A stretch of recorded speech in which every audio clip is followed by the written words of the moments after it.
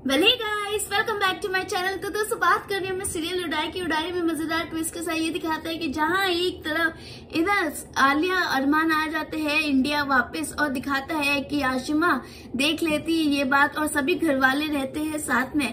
तो इधर एकम को पता चलता है, यानी कि आशिमा के फादर बताते हैं एकम को कि आशिमा, तुम्हारी बेटी है इस बात से।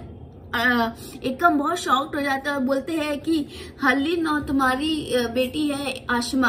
वही ये बात सुन के आलिया को बहुत जेलसी होती है। अब इधर दिखाते हैं कि अरमान लेके जा रहा होता है आशमा को, लेकिन आशमा हाथ छुड़वा लेती है और बोलती है कि मुझे तुम्हारा साथ नहीं चाहिए, मैं जा रही हूँ, लेकिन अब मुझे किसी का साथ नहीं चाहिए। वही इधर कबीर आ जाते हैं, उन लोग को बीच में रोक देता है और उन लोग को हाथ छुड़वाता है और बोलते हैं कि तुम्हारा अब इसको साथ नहीं चाहिए, अब मैं इसका साथ दूँगा और इसके साथ हमेशा हमेशा रहूँगा वही ये बात सुन के अरमान को दुख पहुँचता है और वो सोचता है कि आशमा और मेरा रिश्ता कितना अच्छा था, आलिया की वजह से पूरा खराब हो गया।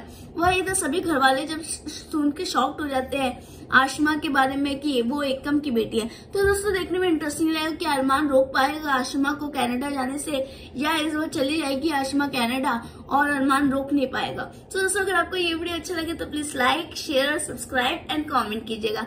जब तक के लिए थैंक यू